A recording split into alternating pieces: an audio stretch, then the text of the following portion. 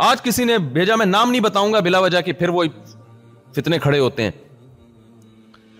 तो दो स्कॉलर्स की मुझे भेजा, दोनों पाकिस्तान के एक कह रहे अल्लाह ने हक दिया है औरत को, अगर वो शोहर की शक्ल अच्छी नहीं थी, उस बेस पे औरत ने तलाक ले ली तो भी जज फैसला कर सकता है कि भाई, वो जो हदीस है ना बुखारी की, उसमें यह है कि हज़रत जमीला रज़ी अल्लाह तहा ने हज़रत साबित बिन कैस से निकाह किया, बगैर देखे। पहली रात में ही अंदाज़ा हो गया कि मैं इंतहाई खूबसूरत हूँ और ये इंतहाई शक्ल सूरत के लिहाज से कम है।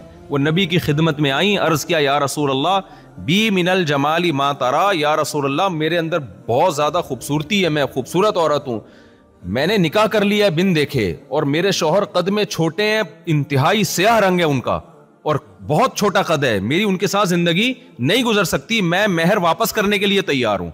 नबी सल्लल्लाहु अलैहि वसल्लम ने उनके शोहर को बुलाया, उनको कहा कि भाई तल्लिखा इजमा है इस पूरी उम्मत का कि यहाँ तल्लिखा का मतलब क्या है? इनको तलाक दे दो, मशवरा दिया।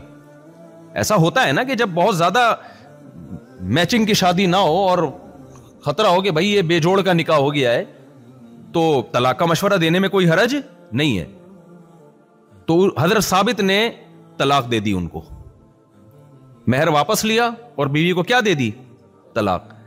अगर जज के पास ये राइट होता तो नबी सल्लल्लाहु अलैहि वसल्लम से बड़ा कोई जज हो सकता है?